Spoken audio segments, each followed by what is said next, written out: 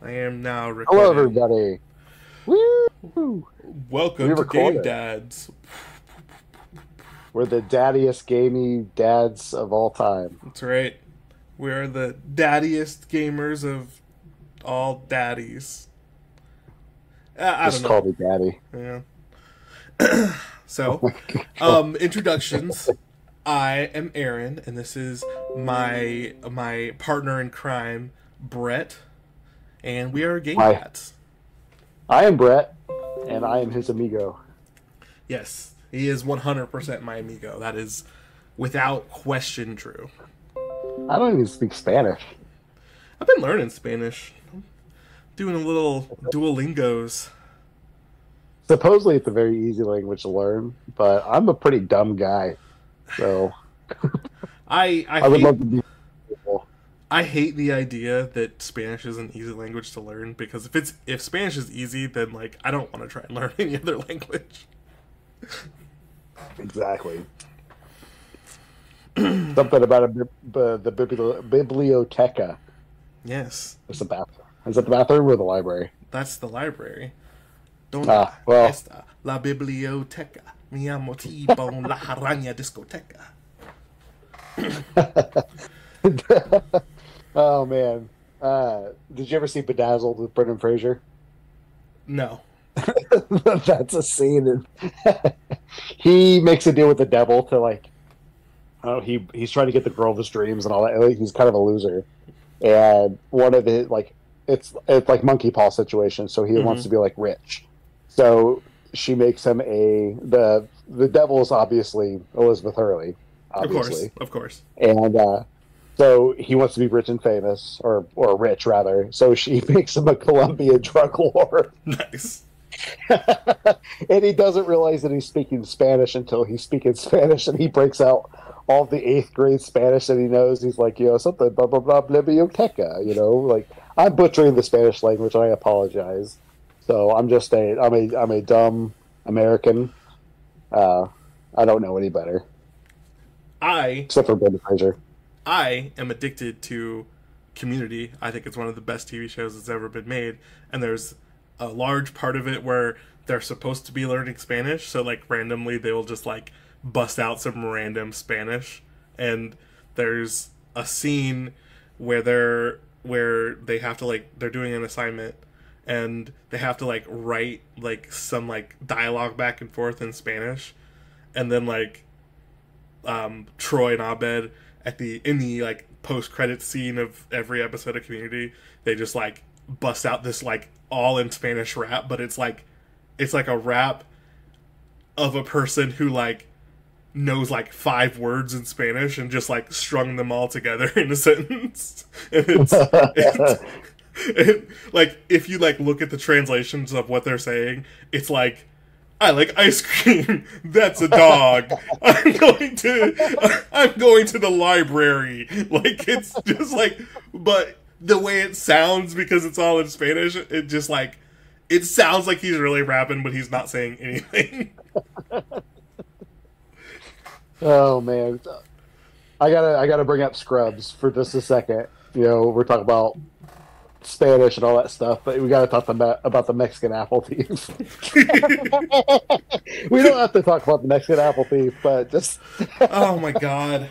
J- JD dressed up in, in a poncho and a sombrero. He's like, "Why do they use me in their foreplay?"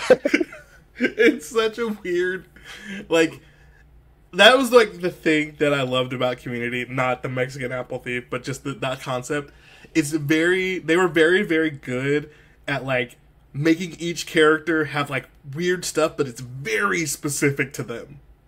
Like Elliot's family had an apple orchard, so that's why the this apple thief is is in her sex play, and it's like that's very very specific, but it's so random.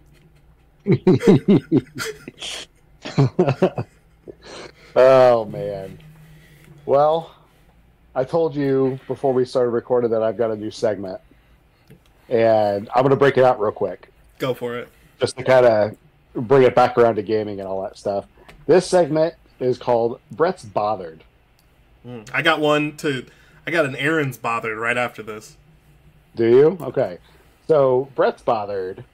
Um, I don't listen to a lot of podcasts um, anymore, but the podcasts that I do listen to, it seems like they're all kind of like bouncing back the same ideas back and forth, which is kind of crazy.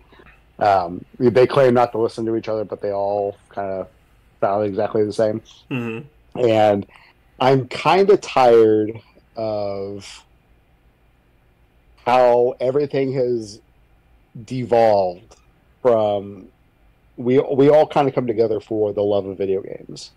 Um, that's what a lot of these podcasts are, and you know, and some of them some of them don't do it as much, but um, we've become kind of a business analytics uh, medium, kind of like nobody really gives a crap about the games anymore.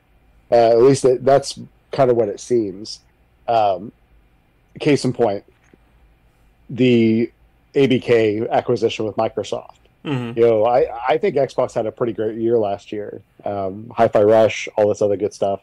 Um, you know, they you know Redfall is what it is and all that stuff. But people would much rather talk about you know the acquisitions or how many copies this sold or how many people played this or how many people played that versus like how exactly like how good Hi-Fi Rush was. Um, and that's just that's just a very small example. Um, I I know we've kind of talked a little bit about like how we want this show to go and and all that stuff. And I love so far. This is I, I'm going to break out my positive right here at the beginning and stuff. But I love that we can set ourselves apart from the stuff like that and talk about how much we love video games. Uh, we're going to get into that a lot in this in this episode. Uh, Aaron and I are both all over the place with whatever with all the stuff that we're playing, and we both love the things that we play. You know, for better or worse in some cases, but we talk about the video games themselves. Um, there might be times where we have to talk about something or other that involves the business of it or business side of it, but man, Yeah. chill I- out. Yeah, Chill I out. I 100% agree with you, and I feel like like I kind of I I've gotten to the point where I kind of just steer clear of basically opinion podcasty type things that are just like like I don't know. I guess speculation. I don't like the idea of someone who has not played a game talking about how much someone is going to like it based off of how many pre-orders or how many, you know, like like oh, well, this studio and I'm like like guys, I get it, but like play the game before you form an opinion about it. Like if Like, who cares that Final Fantasy 16 sold you know three million copies? Was it a good game? yeah, Hell yeah, it was. Like Play that- the- like play the game please just i i don't want Yeah. i don't need your like opinion based on what you could research on the google analytics and you went to google analytics and you saw how many times this specific game was referenced in the past six like i don't i don't care Yeah. man i don't care Just- yeah. did you play it did you like it Are these people really qualified to talk about the business side of things, or are they just regurgitating the things that they read on the internet? Like that's that's kind of where I'm at. I mean, that's a rhetorical question. All that stuff we we can all kind of come to that conclusion. Um, but yeah. Um, that being said, let's hear what you're bothered about. All right. Okay. So, I had an interesting set of circumstances happen to me recently that have led to this conclusion. So I got to start at the beginning. So, um, Tales of Arise, the new DLC came out. Mhm. So I was like, new DLC for Tales of Arise. I love that game. I'm gonna pick that up, and that's what I'm gonna play next to Bloodborne during January. So I picked up the DLC, booted my game up. For some reason, my PS5 did not have my save file for Tales of Arise. Like Tales of, Tales was like the first PS5 game I played on my PS5 when I bought it, but for some reason my save wasn't there. Started up the DLC and it like threw me generically into the game with like generic skills equipped and no items and like I was like, no, I can't do this. I Did you play it on PS4? no, it was the first PS5 game I played. Like I only ever played it on PS5. I don't know what happened. Well, I, So uh, you know me, I creep trophies and all that stuff. I was looking at your trophies and I saw that you had put a ton of time into it, but like you hadn't earned any trophies on the PS5 version of it. Like I like I said, I only played it on PS5. Like I, it was the first game I bought when I bought my PS5. Right, but did you play the PS4 version on PS5? Maybe I did. I don't. That's possible, but I I I was I assuming I was playing the PS5 version. Maybe that's what happened. It's possible. So that happened. So then I was like, okay, well, I love I like this game, so I have no problem just like starting a new file and I'll just play all the way through and then jump right into the DLC after I finish it. So started a new file, started playing, and you know I'm enjoying myself. I, I was gonna I was like, if I'm gonna do this again, I'm gonna play a little bit more like a little more Brett style. I'm gonna go for like trying to get everything, so I'm like super powerful when I get to the DLC, so I can like you know have fun and just like run around do whatever the heck I want. Like I I don't want to be grinding in the DLC, so I that led me to picking up going online and looking at I don't know if you played Tales of Arise, but like oh, titles is how you grind your characters and like they're how you get different abilities. You have to get certain titles to get the abilities. So then I found out that there are three titles for every character that are in DLC packs. So, off the top, this already angers me. there are moves in the game that are paywalled. I'm upset. So Force then, armor all over again. J- uh, so then I am like, okay, well, I have I have given this game an award in a Bretley's. I obviously like it. Let's check these DLCs and let's see how much money they're asking for for what I get. So I go into the DLC list. And I'm like, is there a bundle where I can just get all the DLCs that have abilities with them in like one shot? No. I'm, I'm annoyed again, but let's keep going. So I scrolled through all the DLCs, and there are some gross ones in Tales of Arise, like gain five levels, and like here's all the monies. Like I was like, Yeah.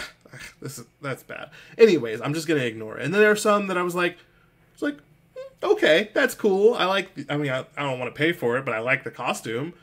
Then I get to the DLCs that I need to get these uh get these abilities. Each of them are five dollars. So that's fifteen dollars that I have to spend on costumes. You know what I'm going to say, right? Go ahead and say it because it's, it's it get worse after that. So go ahead and say whatever you're gonna say. 15 bucks, little man. Put that, that shit, shit in my hand. If that And money, if that money doesn't show, then oh, you owe me, owe me, owe. My jungle love. Oh, we, oh, we, oh. I think I want to know you. Know you. Know ya, know ya. Yeah, Yeah, what? All right. Yeah, we're millennials. Deal with it. Continue. Continue. Okay, so That was I'm really like- cute. I'm like, here are the the DLCs one, two, and three, and then I'm like, wait, why are there only three characters in these DLCs? Each of the DLCs is split into two, where you get three characters in each DLC. So instead of being fifteen dollars, it's thirty dollars to get all of them. Oh, no. Oh, okay. Yeah, that's not okay. I'm like, Tales of Arise, you mother. Like, $15 is Yeah. too much. But as much as I've enjoyed that game, and I like just for the fact, like, I want to have everything, I want to have all the skills, and like, I want to go in and kick everybody's butt. I'm like, almost. But then $30, you have to pay $30 to get all of the abilities for all of the characters, and it's thirty dollars. That's yeah, like dude, DLC's out of control. that's so crazy. That's nuts to me. And like, the the new DLC for Tales of Arise itself, the new one that just came out, that was like grinding to get through, is thirty dollars. So, in other words, to get every skill in the game, you have to pay an additional $60 on top of the $60 you paid for the game. So in Nuts. in Brett's mind, this is I I see DLC in some cases, and I I do the ostrich thing. I'll put my head in the sand. Um, I'm not a big DLC guy. Uh, that I, I just I just don't do it. And in most cases, like if it's a story expansion, I might do it if I really like the game. But I don't like the idea of having to pay for additional stuff. Um, you know, my you know I'm a big wrestling fan, and my the wrestling games that I play, in some cases, they will uh, hold out wrestlers that are obviously on the roster, have been on the roster for a little while for DLC, and those are typically about 15, 20 bucks um, in a pack or whatever. And it's usually one wrestler that I like and like four wrestlers I don't. Um, or you can pay for like the, the season pass type stuff, like which is like 30 to 40 bucks. like if they had given me a season pass option, if I could like buy the Tales of Arise season pass and get like all of the the costumes and all of that stuff and pay $30 for it, like maybe, maybe, but like there's still stuff in that place that like you still have to pay for. Like there are like other costume DLC that don't have abilities with them that are in there. Like bundle this shit up at the very, very, very least. The- Some companies are are, more, are worse about it than others. I just I there there's my I I'm like I was like as soon as I saw as soon as I saw this, this happened today. As soon as I saw it, I was like, I'm gonna talk about this on the freaking podcast. As soon as we get as soon as I get a mic in front of me, I'm gonna talk about this. fucking bullshit. You want to talk about some happy stuff? Yeah, yeah. Let's let's move on from from this one because that was that's really frustrating. So, um, my like we're talking about what we're playing and all that stuff. It kind of ties into some of my some of my actual like topics and all that stuff too. Mhm. Um, I'm I'm kind of going. I'm in, I'm in backlog mode a little bit, or at the very like, and that's probably just that's probably really reductive. But um, I'm going back and playing a lot of the a, a lot of older games. Um, I bought, so, dude. Okay, so I've already finished six games this year. Like finish, like start to finish. Like I finished six games this year. That's Um, impressive. which is awesome because I don't have like hardly any time to do anything anymore. Like work's been crazy, uh, so I've been doing a lot of gaming in the morning. Um, one of the I actually played the Switch, Mhm. um, so I, I don't like ever play the Switch, but I borrowed Ali's Switch to play Super Mario RPG, so I did that. So I've been gaming on my lunch break a little bit. Um, but like the game I'm playing right now, I'm playing Knights of the Old Republic for the Xbox. But um, I actually what drove me to kind of go backwards was because I've been you know going back and getting I got the the platinum trophy in Last of Us Part Two. I got the platinum trophy in uh, Stray. Um, I got the platinum in uh, the Callisto Protocol. So like you know pretty recent games. Mhm. But I bought uh, the Avatar um, Frontiers of Pandora game, and I'm not a big Avatar guy. I don't Um, think but I was like, anyone you know technically counts as a big Avatar guy. No, no, like, dude, I've never heard anybody talk about Avatar before, except for my buddy Joe. Like, he's like, you know, he he brought me over to his house specifically to watch that movie, and it was three hours of my life I'll never get back. Like, dude, it's not, a, it's not, they're, it's not a bad movie. Like, they're they're not bad movies. They're just very, very, very, very, very unforg like, not unforgettable. They're they're so forgettable it's unforgettable. Does that make sense? I get what you're saying. but so I bought this game and I'm I'm old. You know, I'm gonna be 39 this year. Like, you know, my my skills are still really sharp. I play a lot of Mega Man games, play a lot of Castlevania. Um, you know, like like skill based games. Um, my eyes, though, I'll tell you what, this game is so damn pretty. I can't play it. I can't play it. I can't see anything because it's too pretty. I, I get it. I get it. I, I I don't. I, I don't know what's a mission. I don't know. I, I can't tell like the the pickable flowers from the trees. Um, all the people are blue. that's that's very true. It's it's first person. Like it, it is a Far Cry game. I love Far Cry. Um, I don't play a lot of shooters anymore, but I love Far Cry. But and this is, I, I guess, kind of a like a like a sub. Brett's bothered a little bit, but uh, let me tell you my my. I don't know, just my my absolute frustration with PlayStation versus Xbox. Okay. Okay. So I play I play primarily on PlayStation. I have my Xbox as well. I love my Xbox, but I play primarily on PlayStation. I'm gonna give you two examples here. One is Starfield. It's a game from a from a company that I love. I love Bethesda. Uh, I bought the game. I played it for four to five hours. That game was not for me. Right. Mm-hmm. Avatar. It's from Ubisoft. I love Ubisoft open world games. I played it for about four to five hours. The game is not for me. On Xbox, I get on their website. I go through the customer service area. I click on I would like a refund. It asks me like why I would like it. I click on I don't want it's just I don't like the game. And within 20 minutes I have my money back. On PlayStation, as soon as you download it and, and put it on your console, it's your it's yours forever. Yeah. Like there's no there there there's no refund policy with it. Yeah, that's I don't.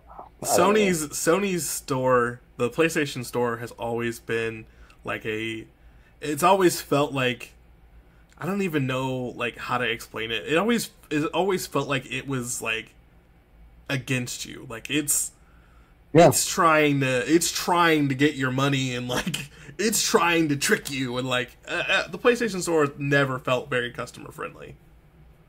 Well, a lot of that's on me. You know what I mean? I did my research with it. It looked fun. It did the same thing with Starfield. You know, like those games are. I typically like that, like these types of games. So I figured, you know what? I'm gonna give it a shot. Lies of P, dude. Like that was just a great experience. Like, um, you know, I, I I jumped in. It was a it was not a brand new experience for me, but like it's not what I would typically play because I'm not really a Souls guy. And I can't wait to talk to you about your stuff, by the way. Um, oh, dude, I can't wait. But you know, Lies of P was such a great experience for me. It's like, you know what? I'm gonna branch out. So I did, and like Avatar, like I think it's it's fundamentally a great game. Um, you know, it, it's a lot of people are compi- comparing it to Crysis from back in the day. hmm Uh, Crysis, Crysis with a Y, because of course it is. Of course. Um, you know, it's it's a graphical powerhouse. Um, I think the gameplay's there.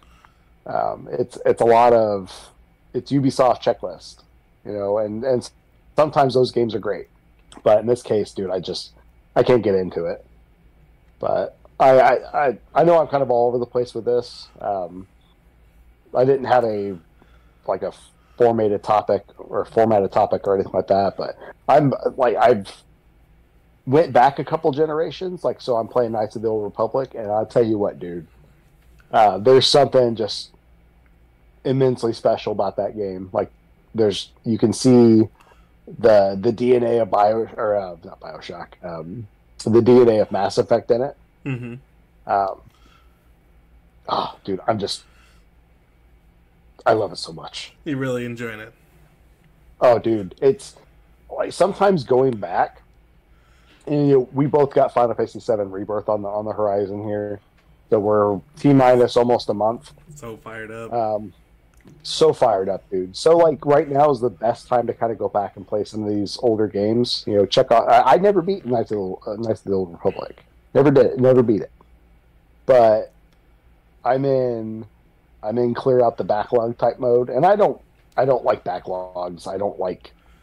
I don't like that stuff. I mean, if if it tickles your fancy in that moment, do flip and play it. You know. And for on, on this day, it's scratching an itch, yeah. and I'm digging it. Yeah, I'm like, like, I put I put Bloodborne like front and center on my list right now, and like, I'm playing it.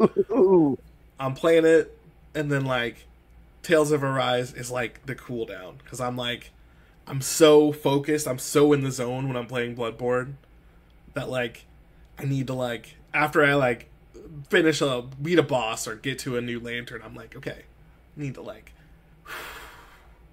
Dude, so Tales I- of Arise and Bloodborne at the same time, that's like having chocolate ice cream with like Tabasco sauce. like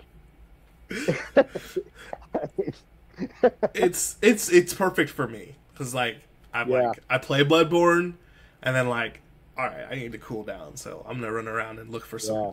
look for some hoodles and find some and put on some cat ears on my character, do some goofy stuff. So oh, dude, I love it. so let me let me with that let me jump into my Bloodborne experience so far. So the way you know I pretty much have to play games at this point because I don't really get time to just like sit down and play. Is I've been playing it on my lunch break from work. So like I'll be working, and then one o'clock rolls around. I'll hop up, go in the living room, turn on some Bloodborne, and I'll sit down and play. So I it took me forever to finally get to the freaking the the cleric beast, which I found out later is an optional boss, but I still was worth it to fight it. So the weirdest thing about it is, and this this is the same problem I had in uh, Cuphead.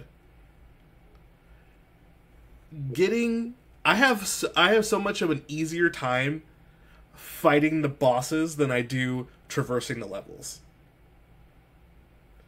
Like I have can't tell you how many times that I would run into bad guys that I killed a hundred times that would just randomly kill me in the random opportunity they get. And then I went into the cleric beast. I fought the cleric beast three times and I killed him. And then I went to Father. I'm not even gonna say it. Father Gaston. I'm gonna turn you into a Beauty and the Beast character. And I, I think I fought him. I think I fought him.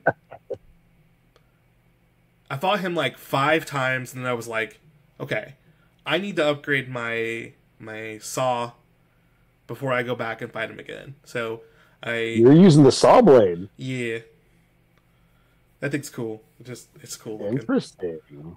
Interesting. So I upgraded my saw, and then I went back and I fought him like two more times, and like the second time I beat him, and I wasn't anywhere close to dying. Like I have not had a lot of trouble with the bosses so far. It's just traversing the areas, and I like that first area. I was I was in that first area before I actually fought the cleric beast and beat him for almost a week. So like probably like six hours. And then like I went and fought the cleric beast and beat him in two tries. So like and like Andrea is sitting next to me the whole time because she's super into it.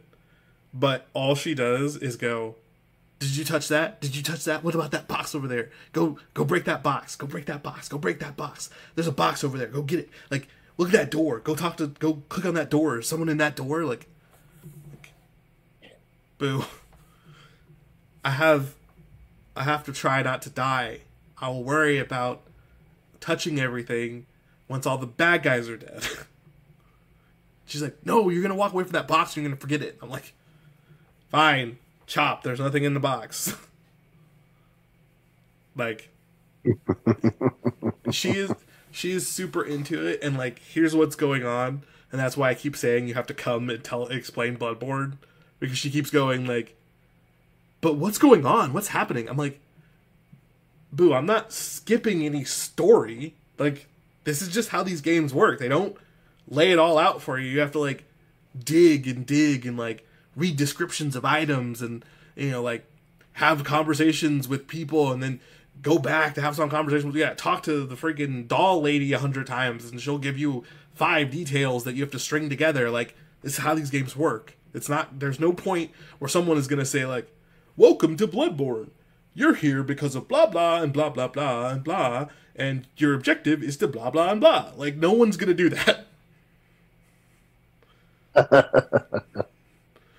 but she's Okay, so I wanted to propose this on the podcast. I was going to text you the other day about it because you asked me to, get, to come over and uh, explain Bloodborne and stuff. Dude, we need to make that. We need to make that content. okay. Make it a video, or or whatever. You know what I mean? I'll do my hair. Yeah, I uh, And, uh, I randomly butting in here. I actually just I set the latest uh, podcast episode, the Bretleys, to actually go up on my YouTube channel too. So now Oh. they go up on YouTube. It's just like a little like like a little screen with like a screensaver looking thing that just says you know game dads on it, but uh, like the whole audio plays. So now you can go up to my YouTube channel and watch it if you're feeling it.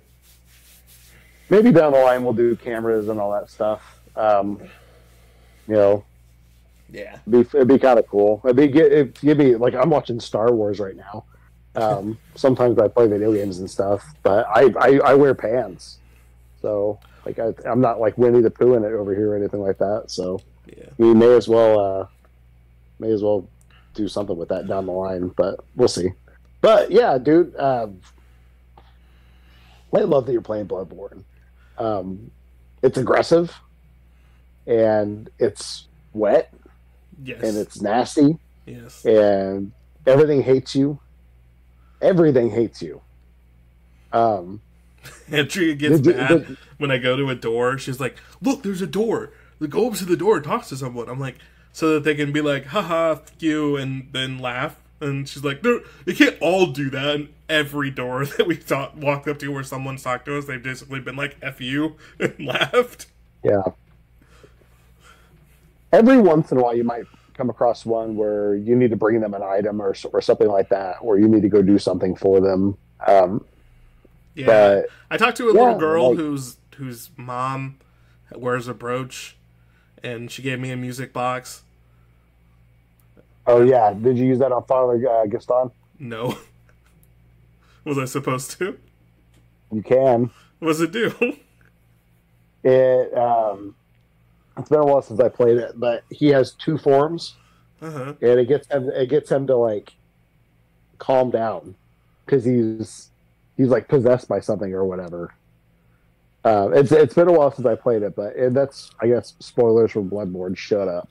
Um, it's a ten year old game. Oh, oh that that makes Kiss- so much more butt. sense. Yeah, um, but yeah, there's all, but like the game gives you zero context for any of these things, and you kind of just have to like figure it out. Um, like there's a couple bosses that hate fire, and you've got these like um, like the fire paper or whatever that you can spread on your weapon and make your a, your weapon is just imbued with fire. Yeah, I, I ran that gauntlet a little bit.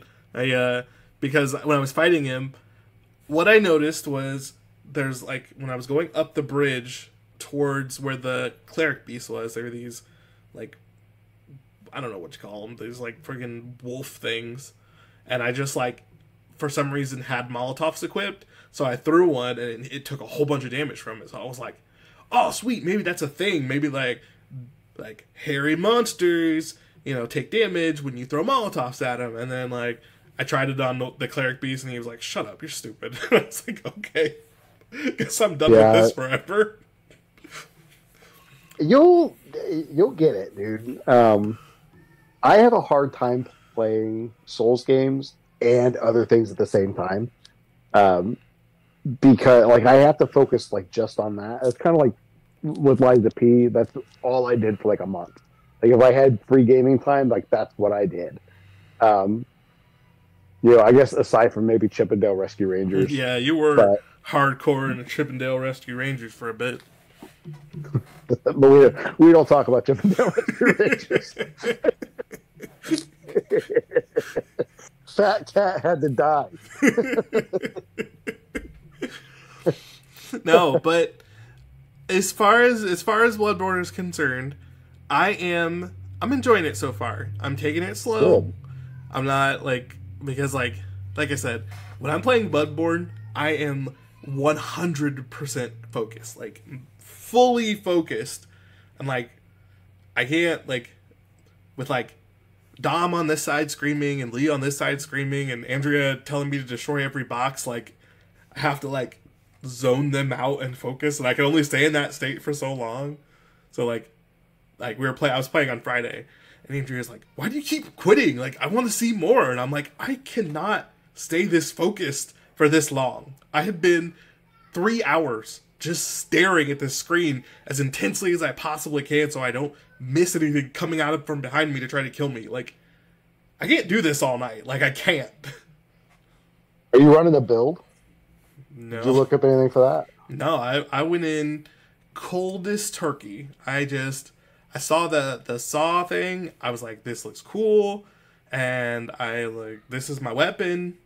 I was using the blunderbuss until I realized that like there's a a stat that tells how much damage it does, and that stat I currently have at seven, and it sucks and it does not do damage. The okay, so guns don't do what you think they that they do. They're more for just like stunning enemies. Um, you, there's no there's no like block button Mhm. in it. Um, that's kind of what you're you're using that more as a defense mechanism, not a not offense. I kind of caught that. Like I kind of caught that. Like the, the what it, what is what the blunderbuss has been best for while I've been playing is like if there are like a bunch of enemies running at me, I can like hit them with the blunderbuss, and that stops them, and then after that I can follow up and attack before they can recover. But like I was using it, I've been using it that way, but like hitting them with this and like I don't know if it's just I'm not good enough yet. I haven't gotten good enough, but like trying to aim that blunderbuss when you like need it to hit is like 80% of the time I'm not going to hit the person I'm trying to hit and it ends up me getting hit, so I'm just like fuck it. I'll just wait till they I very re- yeah, there you go. Uh, I I very rarely use the gun in that game. Um, I've just from the days of Secret of Mana, I've I've always been the guy that hits the hits the thing with the stick, hit the thing with the stick until it dies, and uh, that, I, I I love the Hunter's Axe in that game. Uh, it's got the range. Um, I had the same sort of idea with Lies of P when I played that. There's a like a scythe or whatever that almost kind of turns into a whip, which is pretty badass. Um, but in, in my brain of brains up here, I have to kind of like link these things to things that I already love, and I think of I think of Bloodborne more as a Castlevania game, hmm and uh, and that's kind of how I play it. Is like I'll especially like, you know something like Symphony of the Night or Aria of Sorrow or, or like one of those other like like the RPG style uh, Castlevanias where you're kind of going from one save point to the next. hmm Um, that's kind of how the how the lanterns are in those games. Um, where I'll I'll go like I'm just I'm I'm my focus is from this to this, and then once I get to where I'm going, then I can go back and kind of explore the in betweens. So um, Yeah, that was I- that was kind of how I how I've been treating it so far. Like, like my goal is to get to the next lantern, and I like like like I keep saying like Andrea's like you're, you that guy that guy dropped something. You're here. I'm like, let me just get to the next lantern, and then once I get there, we can turn around and go back and get all that stuff. But like right now, like like I keep I gotta keep going forward. I can't just stop and piddle around at every every spot in the game. That's just not my brain is not wired that way. I can't just like kill two guys and then like I'm gonna pop a squat and like pull out a textbook and read about what's going. Like I need to like keep going forward. yeah, you can't pause. Um, running is an option too. Yeah, if you I- need to just haul ass and get out of there, dude, right, those guys will only follow you so far. yeah. I it, it it took me a while to learn that I could run. I I literally did not know, did not like. I fought the cleric beast, and I did not know that there was act- an actual run in the game. Oh, really? Yeah, I I, I like. There's a jump too. There's a jump. You can jump. How do you, You have jump? to. You have to be. You have to be running. I think you may, I think you may click in the left stick. It's been a while since I played, um, but uh, of P kind of has the same thing where you you run with like the circle button or whatever, then you click in the left stick, and then he'll do kind of like a like a Mario 64 style like long jump or whatever. But it's a good way to get be like it's good it's a good way to kind of close distance or like get out of the way of something. Yeah, like that was the the trick that I figured out to beat Father Gaston after I finally and Bloodborne My, fans are gonna guy. murder me for that. But Yeah. how I figured out how to beat him was I kept like when he gets into his second form and he just like swings at you like crazy. My my immediate thought is okay, dodge roll until he's done swinging, but like the dodge roll has like a recovery that like he was getting in between. Like he was his follow up hits were hitting me because I was still on the ground finishing my roll while he was swinging, and then I was like, okay, well if I don't roll and I just run away from him when he starts swinging at me, I could probably get more distance. And then once he's finally done, then I can start attacking again, and that's exactly what happened. And like once I figured that part out, I was like, oh, okay, get out of here. You're now you're not hitting me every five seconds. You're I'm fine. Get out of here. You're dead. I can't wait for you to for you to play some more of it, dude. But um, yeah, it almost makes me want to go back and play uh, Elden Ring. Like, and Andrea's already talking about Elden Ring. I'm like, oh, okay. girl, I when I finish this game, when this is done, I am going to I'm going to take an equal break to the break I'm taking from freaking Persona 5 before I pick up anything like this again. And it probably won't be it probably won't be Elden Ring, it'll probably be like Nioh or something. Ooh, Nioh is hard. like in the grand scheme of like Souls and Soul style games, like it's a whole genre now. Apparently, um, why or uh, Nioh is like, oh, dude, Ne- Nioh is brutal. Um, it's up there with like uh, it's like it's like I think Nioh is probably the hardest one. Uh, Sekiro is is is pretty hard as well. Um, I think people tell me how hard Bloodborne is, but like I I found Bloodborne easy comparatively to like uh, I I I played Demon Souls when it came out. Like I I follow that one pretty pretty closely. Um, and I played most of the Dark Souls. I think I played one and two. I didn't play three. Um, and then Elden Ring. I like. I find Bloodborne actually more my style of game because it's more like speed based as opposed to like hunker down, parry with your shield, and all that other stuff. Yeah, Um, the thing that I the thing that like kind of changed my perspective on Bloodborne because I kind of was just like, this is gonna be an absolutely difficult slog, and I'm gonna hate it the whole time. The thing that like changed my opinion was like once I got in and like like the first that first six hours, I was like, I don't know if I'm gonna finish this. I don't know if I'm going to finish this. And then like I fought the cleric beast, and then like I like just you know randomly running into him. Like I didn't, I I don't haven't been looking at maps or walkthroughs or guides. I just was running, and then like I got past the part on the bridge, and then boom, there he was, and I was like, oh hey, this is the boss. And then I started fighting him, and I was like, if I had another round to figure out this guy's moves, I think I could beat him. And then like I died and I needed to stock up more blood vials before I went back. So I was I went back to the hunter's dream because I had money and I was just gonna buy them. And then like the girl's like, "Hey, do you want to level up?" And I was like, "There's level ups in this game." Oh yeah.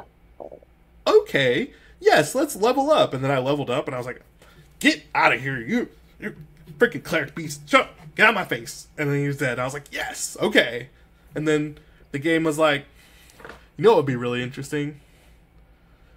You know how you were really excited because like you you saw the way to go and you felt like you were on this like semi-linear path. What if I just put a gate in front of you that just doesn't open? How's that feel? I was like, okay, so this gate just doesn't open, and it's like, nope. And I was like, okay, well, now I really am lost. So I'm gonna go and like look it up, and I looked it up in a very specific specific way that like specifically led me astray. It was like you can buy an item for like ten thousand blood echoes to open this gate, and I was like,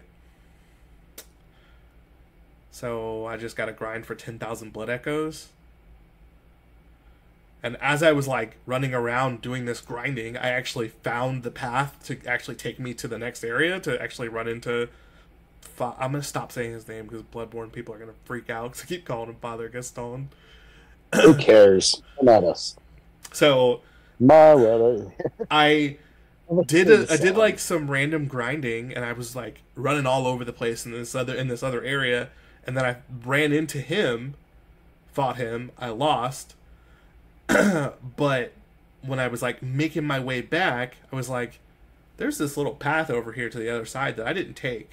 So let me go over there. And I went over and then there's like the elevator that takes you right back to like the central Yharnam gate and I was like okay game you're right. I expected something. You didn't tell me or hint to me that this was how it was going to be. I just, that was how I expected it to be. You're not wrong for that. I was wrong for making expectation of how you should act. This is perfectly fine. This is very logical. This is very, you know, like gameplay, gamer focused. Like, I just was not exploring everything like I should. So that's my fault, not yours. So then I was back on the game side. Yeah. Because like That's what I love most about it, dude. It like it. I don't know. It, it, it takes kind of an old school mentality where it kind of puts. It, it makes you think, but it's fair. You know what I mean? Like you have to use your brain a little bit when you're playing Bloodborne. Um, we're all kind of used to you know years of being uh, you know having our hands held, you know Yeah. through you know, our Ubisoft games and um, even you know I'd say like you know like modern Zelda games kind of do that a little bit. Like they've kind of got away from it a little bit with Breath of the Wild and all that, but um, you know there's a there's a little dot on your map and that's where you're supposed to go. You know what I mean? mhm. Um, Bloodborne just kind of sticks in the area and just says, "Figure it out." figure it out and like take the time every time you take a step every time you take a turn like remember which way you turned which way you Yep. went so that you can get back because there's no map Yep. and no one's gonna guide you no there's not gonna be a, a street sign that says this way back to central Yharnam you just have to figure it out like so like like I, like I was saying like that's exactly what happened i was like i don't want to run through these freaking sewers again it was getting on my nerves the first time. I don't want to have to do it again. And then like I took one left and like now I don't have to go through that sewer because I found the elevator that takes me right there and then now that I've beaten and I'm past that part, I'm in a new area that I have no idea where I'm going, but it's like the game the game is smart enough to link the places that you need to go together, but you have to be willing to take that left even though the you know the giant steps that the giant just rolled the giant burning meteor down is tempting but if you take that left that takes you makes a shortcut for you right back to the last freaking lantern that you were just at that like saves you time and then the bad guys that you meet between there are like blood vial sponges and you can just beat them over and over again to restock your blood vials. The game does everything for you. You just have to know where to look and you have to be willing to explore. Yep. You got to put the time in, but you know, put the effort in. I love it, dude. I- I'm so glad you're playing it. but like i said How's it running on your PS5? what's up How's it run? How's it running on your PS5? Like, does it? i have not had any issues any hiccups nothing I'm just curious. excuse me for one second I'm uh, cough my face off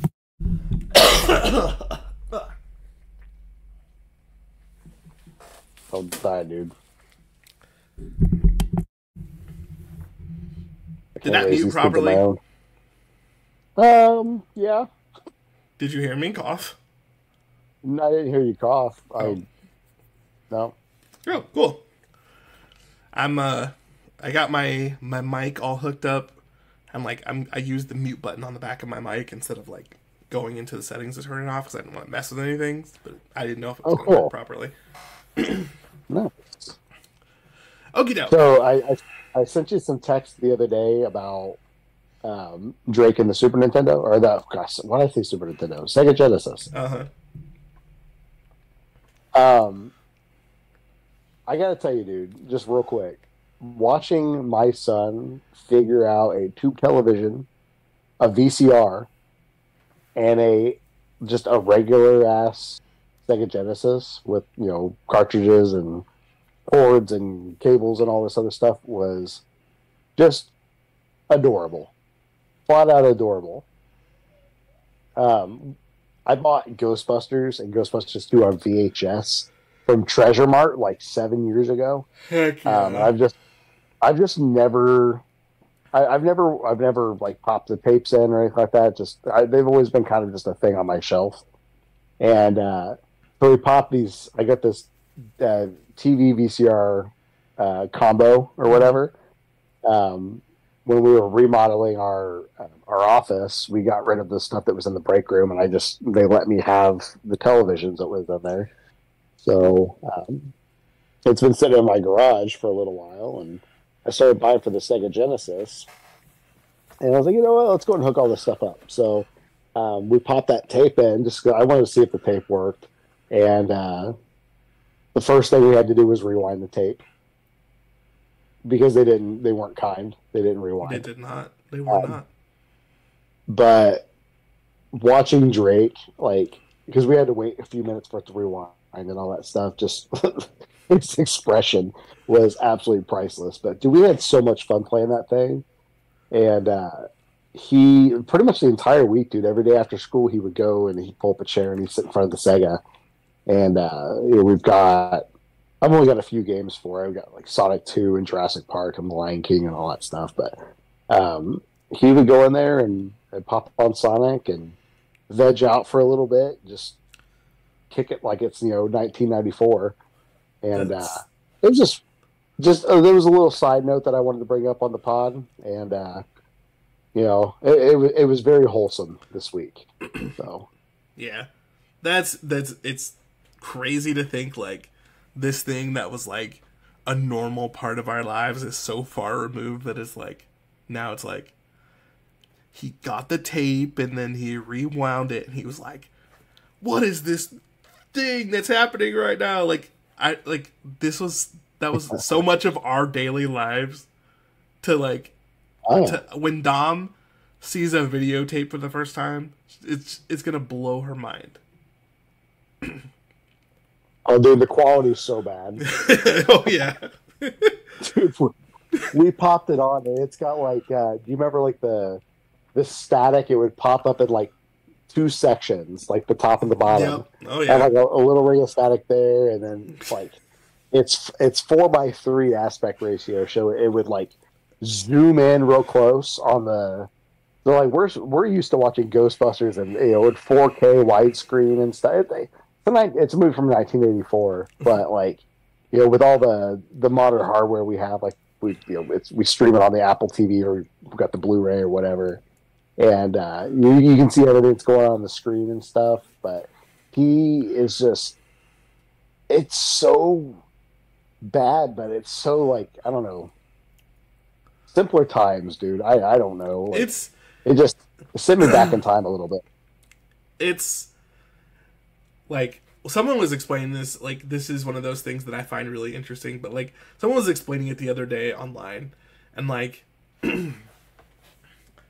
no matter how much of the fancy like upscaling and you know HDifying and 4King we do to some of these classic movies, like the way that they were explaining it was like directors when they were shooting these movies shot them with the idea that that grainy like low res like four three aspect ratio that was how people were going to see it. So the movies are shot that way. They're not shot for like you know like these massive tvs and these huge aspect ratios and be able to see every pixel on every person's face. Like they're not shot that way. So it's actually like there's actually a physical difference in the movie if you're watching it in the aspect ratio it was meant to be seen in. Yeah. Like some of the stuff that like we will look at now and we're like, man, look at these graphics, look at the CG. But like if you watch it on the four uh, like a four three aspect ratio on a tube TV from friggin' 1994, then it doesn't look as bad as it does because there some of that stuff is just hidden behind the fact that it's so low res. Yeah. Like Yeah, I, I definitely I want to go back and get the the Star Wars uh, VHS tapes just just to have that stuff. You know, like I don't know, it's a part maybe have a family movie night and just put the put the 19 inch tube television, you know, right below my 65 inch OLED, and uh, you know, pop some popcorn and and freaking watch uh, you know Empire Strikes Back on VHS. like So I'm gonna pop into to, to for my anime moment. I don't think we've had these in one of these in a while, but uh, there's a thing that like people do online, and they like take specifically they'll take anime clips and they'll make them like 400 four uh, they'll make them 4K like 60 frames per second and like you're like oh man this looks so cool and it looks terrible because animators animate at like 30 frames or sometimes even like 24 frames per second yeah, it was, So I if- thought it was 24. yeah. So if you're if you're trying to take something that's at 24 frames per second and put it up to 60 frames per second, you're basically extrapolating and like making up like 36 frames in between each frame. And Yeah, like th- that's what happened with the the, um, the Hobbit trilogy, dude. yeah. Um, it it's unnatural. Yeah, it, it looks if you're actually if you're actually like looking at it as a person who like enjoys animation, it looks terrible. It's like all of these like weird wonky extra frames in between that like jiggle all the physics up. It's like this looks terrible. Why are you doing this? And you're like Not the jiggle physics we want. exactly. Yeah, you got to So- respect the jiggle physics. So I do I I have an I have an anime minute that I got to share real quick. Hit me. So, um, there's two new animes that I that I, me and Andrea are both watching, which is rare.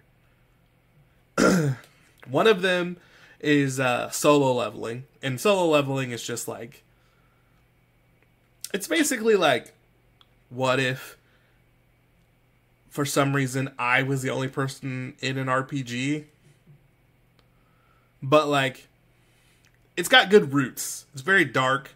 It's like the world's kind of mysterious to begin with. Then the main character gets his powers and like it's getting a little bit more everything's getting a little bit more like lost in the fog, so I'm kind of re- I'm really enjoying it. But the other one is called Delicious in Dungeon. Sorry, one more cough. Excuse me. So, Delicious in Dungeon is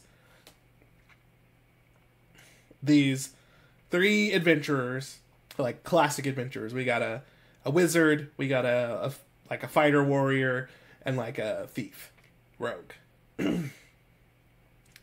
They're exploring this like big huge dungeon, and they run into a dwarf who is a barbarian and a chef and every episode is just about them finding a way to eat whatever monster they run into in the dungeon. And like so it starts out and it's like the first thing they run into is like Final Fantasy style slimes. and they're like how are we gonna eat this? It's just a bunch of jelly. And he's like, and then the chef dude's like, well, most of its body is just a bunch of jelly, but in order for it to move around and actually, you know, have thoughts and consciousness, there's a bit inside the jelly you gotta find that's actually the brain and the organs, and then that part is the part that you eat. And like they like go through and like chefly cut up all of it and like put it up in a stew with like veggies and stuff they find in the freaking dungeon, and then like it turns into like like slime jelly stew, and then they like eat it, and like the whole like it's so wholesome and adorable, and like the chef guy is like the chef character is this like like wise old dude, but like he just loves to eat monsters and like every episode of it is like the cutest thing I've seen in a long time and I'm really enjoying it. Where can one find this this show? That one is on Netflix. And it is called Delicious in Dungeon. And it is adorable. Mm. I will probably have to subscribe to Netflix soon, and I will watch that. So Um, that- so WWE is going in. Oh, really? Yeah, um, they're taking Monday Night Raw off of the USA Network and off of cable entirely, and putting it on Netflix in 2025. Dude, Netflix is making some moves cuz you know what el- what other Yeah. show that they just bought and like it got exclusive rights to? Freaking One Piece. Oh, really? yeah. Is, Netflix- is that going to come off of uh, Crunchyroll? Or, yeah, it's going to be off Crunchyroll. It's going to be off everything except for Netflix. Wow. Are they going to put all like 15,000 episodes on it? Now, uh, hold on, hold on. Not only is Netflix getting exclusive access to the current run of One Piece, Netflix is doing a One Piece reboot, which is going to be a Netflix exclusive retelling of One Piece. And they have season two of the live show coming out soon. So, wait, wait, wait, wait, wait, wait, wait, wait, wait, wait. So, One Piece, like it, like the original run of One Piece, is that going to go like? There's, I mean, there's what? There's over a thousand something episodes. Are those all going to Netflix? Yes. Okay. Subbed and Drake and I started watching that on Hulu, and they, I mean, they didn't have Hulu didn't have as much, um, as I want. I mean, dude, we're never going to finish it, but we like, we like. Uh, let's be honest, you know what I mean. I'm not watching all that shit, uh, but we liked what we watched of it. Um, if Netflix gets it, I may, you know, end up finishing it. You know, by the time I'm 108 years old, Yeah. you know. It's literally so what's literally happening right now is the Netflix sub Netflix dubbed version is like 350 episodes into One Piece. The sub version is like 600 episodes into One Piece. Then they have like the current episodes also running, so like there's like a big gap in the middle where they just they the episodes haven't caught up yet. And then, like I said, there's the live action that came out last year. Um, a new season of that is due, I think, at the end of this year or the beginning of next year. And then they're also doing a, a complete retelling of the entire story of One Piece in a new se- a new show that's coming out s- exclusively for Netflix. You've already stressed me out. so I can't do it.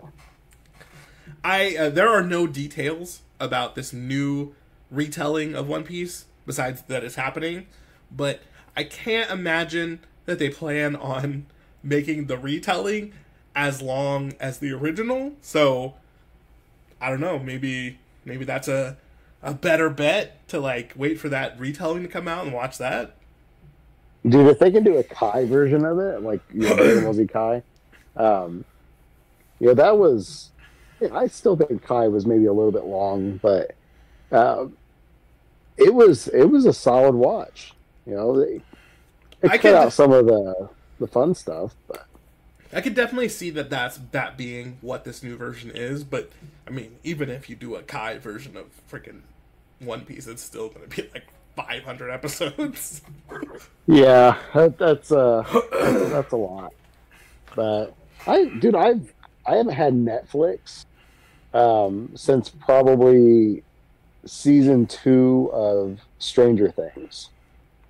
and I don't remember when that came out. Man, it's been a while. I I'm not like like I'm I'm one of those, Those, people. kids, those kids are like 34 years old now. Yeah. Uh, Finn Wolfhard can definitely drink at this point. He's I- getting paid though.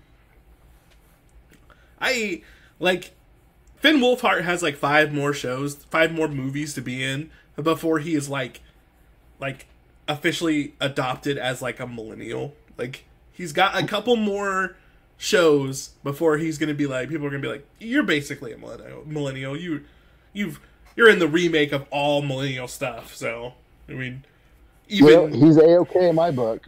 even He's Stranger. Things, even the Stranger Things character that he plays was is technically a millennial by the story's time of events.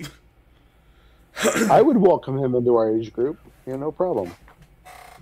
so, Oh. so that is um, as far as as far as I'm concerned, I cannot um, believe that like someone was like, "What if we make more One Piece?" Like, there's already. Yeah, almost 1100 episodes.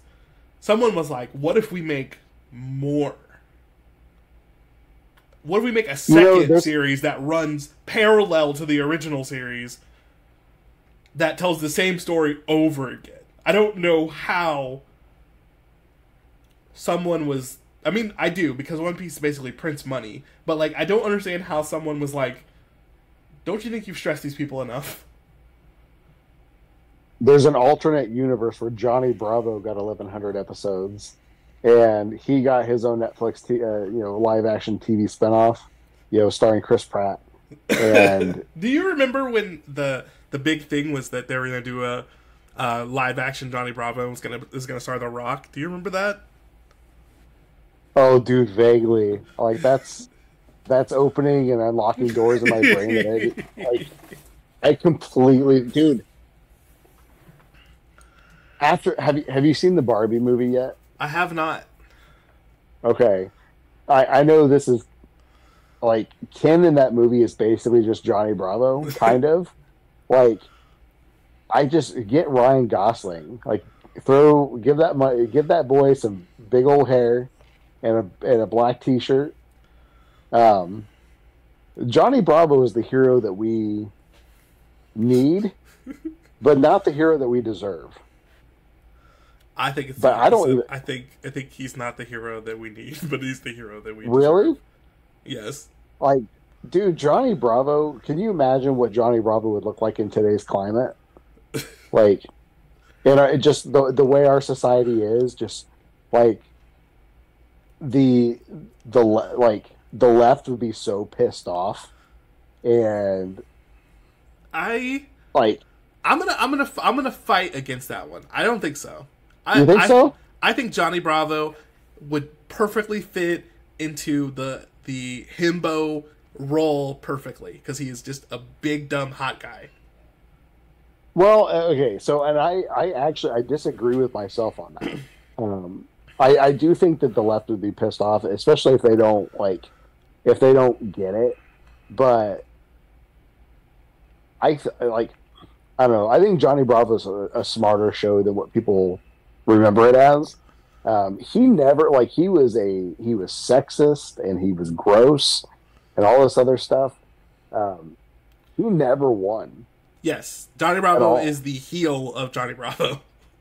He he never ever ever ever ever won an episode. Like never he never succeeded. Um the closest he ever got with that was maybe the Scooby Doo episode. Yeah, And he succeeded more with uh you know Shaggy and Scooby than he did with Velma and, and Daphne. That was a smart episode too, man. What a what a good episode. Apple Core. Baltimore. Who's your friend? Me. oh man, we're just we're just like planting the millennial flag and just letting it fly Dude. right now. And we're so old. I the thing that like like you said, the thing about Johnny Bravo was he he never won. And like the second thing that was always about Johnny that was about Johnny Bravo was there were two rules to Johnny Bravo. The two rules were Johnny Bravo never wins. Johnny Bravo is a wuss. And only in one occasion was he not a wuss. And that was when you mess with his mama. Then he was the toughest motherfucker in that show. And you, like, if you mess with Johnny Bravo's mom, you back up because he the he, only time he ever gets tough in that show is when you're messing with his mom. That's true. That is true. Like we need Johnny Bravo back. it's just like like I feel like there's so many conversations that are like so many of the stuff the stuff that we enjoyed as millennials like has this message that is the leftist message that everyone wants it to be, but people miss it, miss the the forest for the trees, as they say. Like, yeah, like a good example is Fight Club. There are people who like love Fight Club and think like, oh, Tyler Durden is like such a badass. He's an example of how men should be. Like, if you watch Fight Club, Tyler Durden is the bad guy. Yeah. He's the bad guy. It's not it's not hidden. It's not like it's not a like a like some like mind game that they play. I mean it kind of is cuz it's Fight Club, but like it is very obvious that Tyler is the bad guy if you actually watch the movie. Like yeah, that's people try to misinterpret things just for the sake of misinterpreting them though. Yeah, like like what I my mean, point is that's what they want us to. My point is like the the well, the writer because it's based off a book, but like the directors wrote and directed the movie so that even if I don't know, even if you walk in halfway through and then barely watch, the last scene in the movie is literally them him fighting Tyler and Tyler's not even there. Like what like it ends with him disregarding everything Tyler made. Like it the whole movie is about how he is being brainwashed until he figures it out at the end, and then he releases himself from brainwash by killing Tyler. Like, and then like, people are like, "Oh man, Tyler Durden, what a great, what, oh man, Fight Club." It's like, the whole movie is about how this is all bad. Yeah.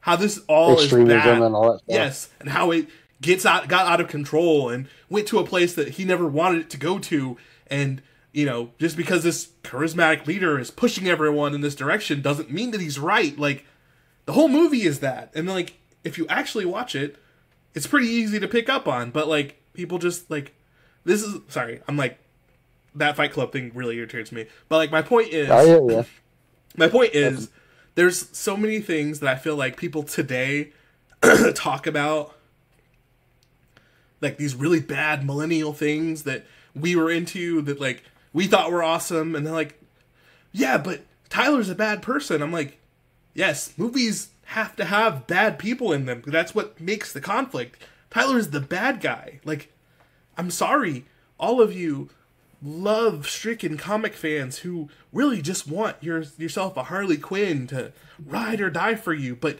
the joker is the bad guy he's the bad guy. He's the bad guy in yep. their relationship. There is no, I mean, like, I'm never gonna say no because every comic writer in the world writes their different versions of Joker and Harley differently. No. But like, the general consensus is the Joker is very abusive to Harley. There's no redeemable qualities about the Joker, none. Like, and that's the point. Yes, that is the point. Like, I, people are like, "Oh man," but you know, I want me, I want me a relationship like the Joker and Harley. It's like, no, because the Joker is an abusive, manipulative freak, and he destroys Harley for comic after comic after comic until she finally gets away from him. Yep. Joker sucks.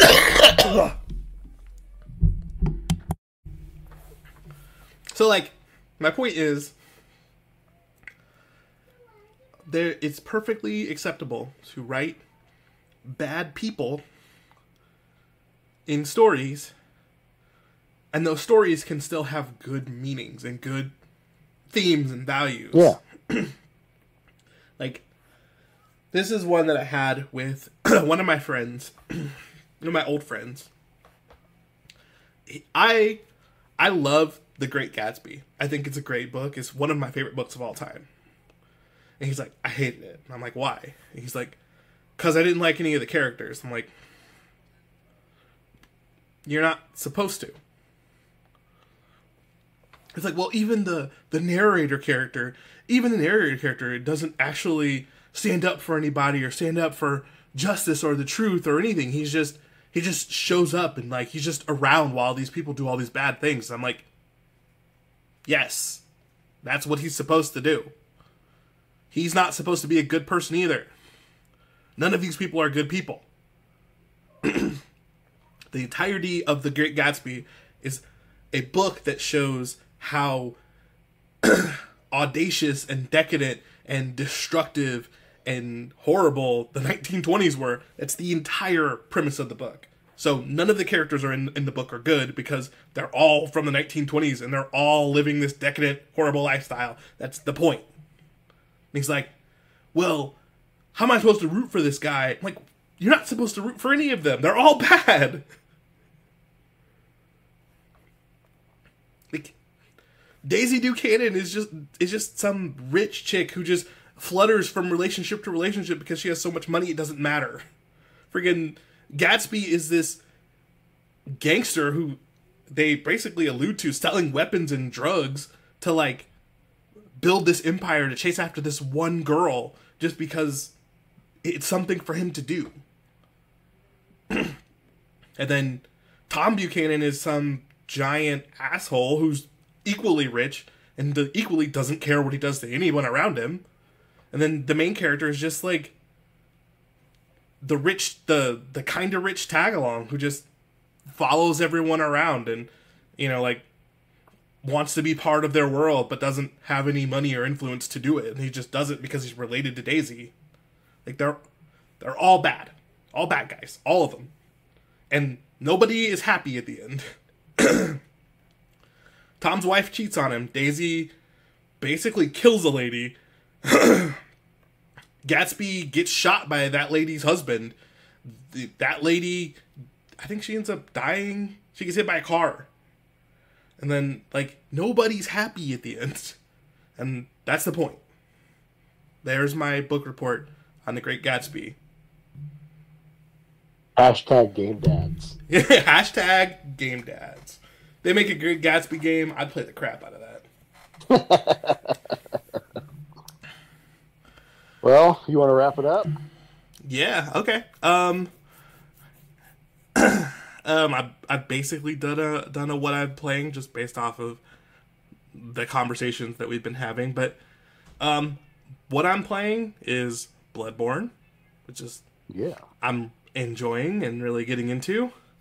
Um, Tales of Arise. I'm playing through the game again so I can play the DLC, and I kinda started Pokemon Sword, but like not really because once I hit once I started playing it, I was like, okay, I'm not gonna get any of these games done if I am playing three separate games at the same time. It's just not gonna happen. So I was like, yeah, you gotta fo- focus one at a time. I'm gonna put this down.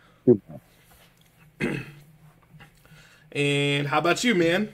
Have you said all of yours, or is there anything else you're playing? You're, are you say, let's say you've played since the last time we talked? Oh, I'm. I mean, I'm. I, I am kind of playing stuff. I've been bouncing around. Um, you know, I'm, I'm still playing Kotor. Um, I'm loving that. I just got off of Taris. I'm about seven hours in, seven and a half hours in. I'm about to get my lightsaber, so I'm pretty stoked about that. I've never played a light side character before. Ooh. Um, I've th- that's the only game I've ever actually been a bad guy in. so I'm, and I'm gonna tell you what, dude, the light side's not fun. So it's it's definitely it's harder to be a it's harder to be a good guy in that game than it is a bad guy, uh, especially if you know the ending of that game. I do not. Um, I did start Onimusha Warlords. Onimusha, Um, wow. I've never played Onimusha, That which that feels way left field. Onimusha? yeah, I'm kind of hitting you with some weird ones. Um, I.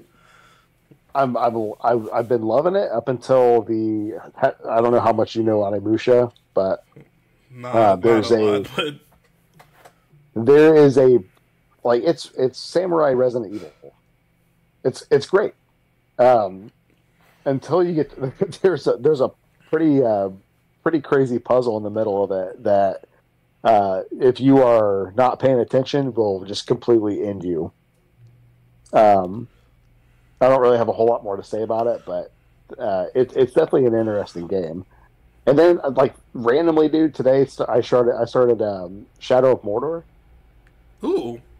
Is that the new one that I've just came played- out? Or is that one of the older ones? No, it's like ten years old now. Um, Shadow of Mordor. Which one's uh, that? yeah, uh, Middle Earth, Shadow of Mordor.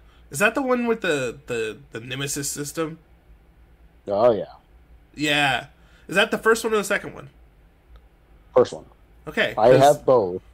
Me and Andrea played the crap out of both of those games. I've never beat it. Um, I bought it when it came out, so I've. This is my copy that I bought in whenever it came out, 2014, 2015, something like that. Um, that's that's a, that's pretty old. That's why my brain was like, "Is you talking about the new one that just dropped?" Like, why? But you did say you were going back, Yeah. so yeah. Yeah, I, I don't have anything else better to do right now. Um, I've been working a lot, so work's been pretty crazy. Um, we're hopefully going to be fully staffed by like May. Um, so I got a little bit of, of time to be stressed. So, um, yeah, I'm just kind of I'm trying to play where, when I can, where I can, and stuff. So I've been getting up. I get up at like five o'clock in the morning. I play video games. Um, it's the only time I have to play. So I've been working on the weekends too, man. Like taking my Surface home with me, and Yeah, I feel you, man. yeah, work life balance, dude. Like it's important. Like it's very important. And um, the last the last few months have been kind of kind of stressful. So it's been it's been good to like unwind with some with some good games and um, yeah, I, that's really all I got, dude. Um, mostly just like Knights of the Old Republic here, and um, we watched that Xbox game direct or whatever it was Uh huh. last week, or maybe or maybe it was the week before that, dude. That new Indiana Jones game, uh, Indiana Jones game looks sick, like just everything that I want. Again, as I will always say, I I don't mean the industry itself because the industry side of it is not in a state that I would ever wish on any anybody to have to deal with. But just the pre like the the level of like weird specific games that have been coming out recently, I'm so excited. Like freaking like you can Yeah. play you can play RoboCop and Indiana Jones. Like what? I love it. I love Dude, it. the last like the last couple Star Wars games have been great too, like the the Jedi um, Jedi Survivor Uh-huh. and uh, Fallen Order. Freaking Um, it's just you can you can you can play Indiana Jones, you can play RoboCop, you can play Star Wars, and you can be Nicolas Cage in freaking Dead by Daylight. What is happening? Yeah. in Games right now. It's just like how how how are so many people getting laid off while games are so awesome right now? Like I, I just played a dope ass Pinocchio game. yeah, freaking dope ass Pinocchio. What like Dope ass Pinocchio. uh, on that note, what gotta you got positive? Positive. All right. My positive is a little is a little interesting because over the last like 2 or 3 weeks I have been through some dramatic circumstances. So I got sick. Had another stomach thing. Went to the emergency room. Came back from the Oh, emergency dude. room. Wasn't fun. But came back from the emergency room and then I had this thing going on where I was like I had like pain in my chest. So I had a lot of time to freak out about that. I went to the doctor. They said everything's fine, but it was still happening. Then I went to the gym and worked on my chest.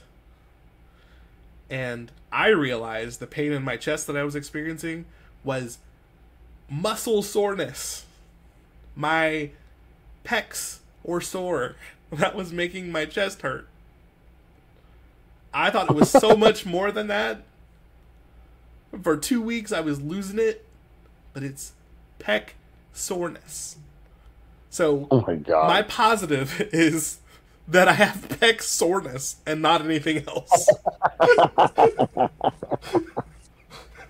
Oh my god, dude, I love that so much. I, I hate that you're sick, dude. I, I I absolutely hate that. I've been doing my own stuff last two days, but I'm glad you got pecs, bro. just as I like I'm not kidding you. I was freaking out for like 2 weeks. And then I went to the gym and worked out and I was like, "Oh my god. That is my freaking pecs. My pecs are sore. I'm not my dying. My pecs are sore. Oh my god." And like I had to tell Andrea and she had to laugh in my face about it and I was like, "I deserve this." This is this is one hell of an episode. um, my positive is not nearly as good as yours. I, I guarantee that. Um, the Royal Rumble was last night, and I know I talked about wrestling a little bit earlier, but this is my favorite time of year to be a wrestling fan.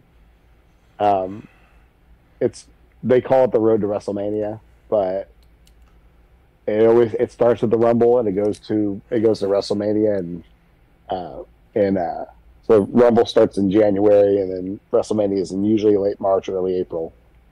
So, but that period of time is just, oh, dude, it's so good. So, yeah, that's my positive. We're on the road to WrestleMania. No, I, I have, I have, I haven't said this, but I, I want this to be known to all.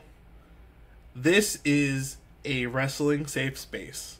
I am not a huge wrestling fan, but I would never knock anyone who is because I understand why. I just, I don't have room for another thing in my brain, or I would be a wrestling fan.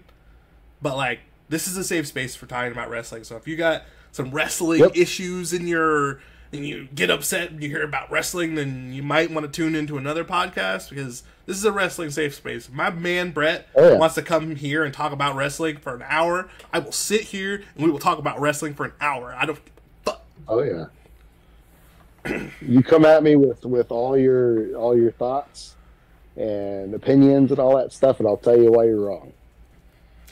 So, actually, that's not true. I won't do that. But yeah, I uh, yeah, bring them on. AEW, WWE, TNA, WCW, ECW. Uh, you know, I was trying to think of some other funny acronyms, but I couldn't think of it. Uh, TNA is funny enough. yeah, yeah. that's- It's a real place. It's it's not just tits and ass. You know, it's uh, total nonstop action. That's real. I, I I put it on the list. I want I want me a wrestling episode. I now that I've said it, I want it to happen. Put it on the list. Do you?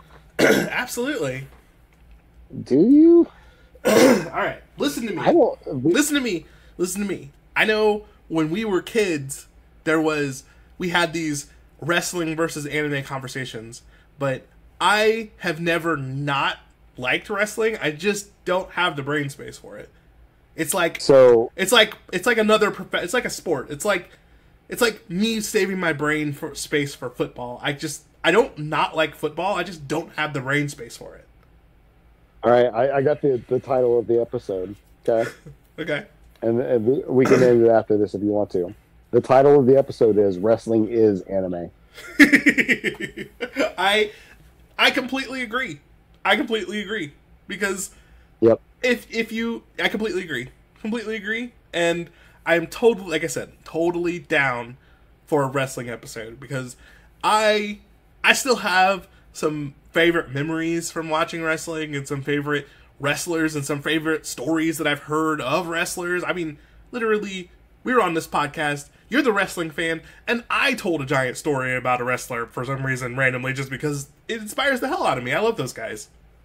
Yeah. Yep. Oh, dude, I'm totally down for it. Totally Okay. down for it. We'll put it on the list, and then we'll do a wrestling episode at some point. I'll have to dust off my blog of uh, comparing the, the the 2011 wrestling scene to Dragon Ball Z. I, I, I would not only okay. Here's the the rules. If if you can make that comparison and you can make it tight and real, I will. I'll animate the whole thing. I'll sit down Really? and I'll make ten minutes of straight animation. Us comp- you comparing wrestlers to Dragon Ball Z characters. I'll do it. I'll clear my whole Okay, goddamn he- schedule for it. Well, he- here's a little bit of a hint. It's specifically 2011. Okay. The first one's easy. John Cena's Goku. Okay. All right. All right. Say, save it. Save, is- save it for big time. Save it for the big I time. gotta say, I have to say the second one because Okay. that one's that's a that's a dead giveaway. CM Punk is Vegeta. I'm I'm ready. I Oh, will- dude, I got more. I got more, but I'll save it. Okie doke. That is that is our podcast time. Love you guys out Thank there you all. in Game Dad Game Dad's land, and we'll see you on the next one. Love you guys. Wimmy wham wham wazzle.